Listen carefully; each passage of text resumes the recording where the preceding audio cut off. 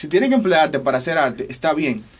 Porque al final, el truco está en posicionarte de una forma que tú puedas lanzar algo. Por cierto, esas son preguntas que te las hacen en el empleo. Exacto, sí, sí, yo te lo, iba, te lo iba a decir ahora mismo, se lo iba a decir ahora mismo. Pero es Ya, interesante. yo fui, yo fui a entrevista de trabajo, que eso no tiene malo. Siempre te la yo, tenía un esa sa- falla. yo tenía un saco que era azul. Cuando yo terminé, que yo dije, ya, esto no es para mí. Estaba gris. gris. No es que la jevita sea fea, bonita, y que no tenga defecto, es que tú estás aficiado de tu jeva. Es que.